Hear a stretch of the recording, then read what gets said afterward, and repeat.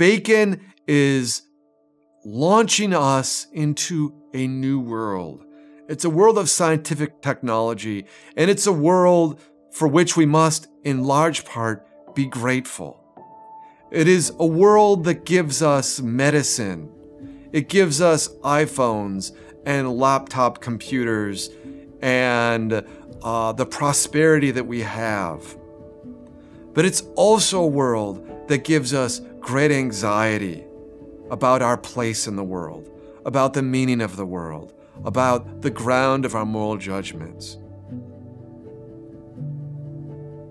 We might call Bacon the father of modern science, but Bacon never made any distinct philosophical or scientific discoveries. In fact, what Bacon offers is a new picture of the world, a new way of seeing things. He offers a program for study, and that's one of the reasons we're going to read him is to see him not so much as a scientist, but largely for his the imaginative program and vision he gives to philosophy and the philosophical enterprise. What is characteristic of modern philosophy? What makes it different from medieval or ancient philosophy? The first thing is a severe criticism of the previous tradition. Not just this thinker or that thinker or this argument or that argument. What I'm talking about is a whole scale repudiation of the entire pre existing order of knowledge and inquiry. And Bacon is very explicit about this. For let a man look carefully into all the variety of books with which the arts and sciences abound, he will find everywhere endless repetitions of the same thing, varying in the method of treatment but not new in substance. And so much that the whole stock, numerous as it appears at first view, proves on examination to be but scanty. And for its value and utility, it must be plainly avowed that the wisdom which we have derived principally from the Greeks is but like the boyhood of knowledge and has the characteristic property of boys. It can talk, but it cannot generate. See the style. For it is fruitful of controversies, but barren of works. Number two, then, Bacon suggests because that whole tradition is sterile and barren of works and disputatious and uh, unproductive, therefore, we need a new foundation. Bacon tells us that the goal of this new foundation is not to understand nature, but to command nature. That's a very important point. We've already read that Bacon says the goal is generation, fruit, works, not understanding, but production. This is why Bacon is sometimes called the father of modern science, because he wants to give us a way of knowing how to dominate and control nature for the assistance of human beings. So, Bacon is at the front end of what today we call scientific technology using science to promote technology. Finally, fourth, the fourth element in modern philosophy that we find in the Great Instauration is uh, Bacon's promoting uh, of a new way of knowing. Uh, Bacon is focused on human knowledge. He's focused on the way in which humans know the world.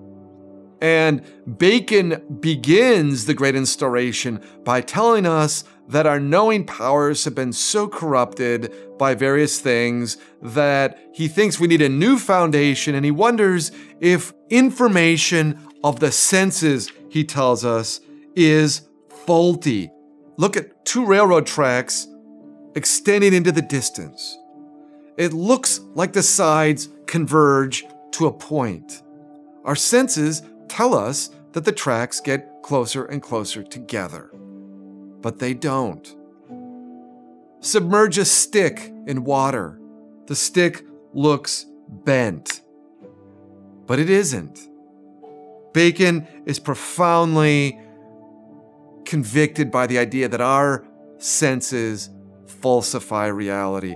And you need to let this sink in for a moment that challenge. We spontaneously say sometimes, perhaps, it's obvious. It's as obvious as the fact that grass is green. But for the philosophers after Bacon, the question arises is grass green? And in fact, what the science tells us after Bacon is that the greenness in the grass is not in the grass.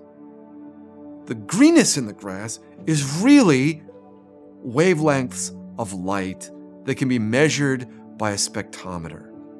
The perception of greenness is purely in us, in the way our, co- our, our rods and cones and the pigmentation in our eyes translates the wavelengths of light into a visual experience that we have in our minds.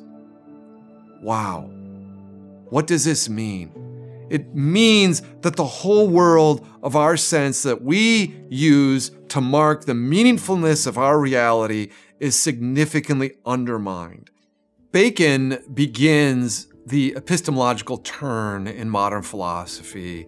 He introduces critical philosophy. And as we saw in the lecture, that involves criticizing our senses and the ability for our senses to reliably tell us about reality. That critique is going to continue in the subsequent philosophers that we read. And it will become increasingly aggressive in its undermining our ability to rely on the senses.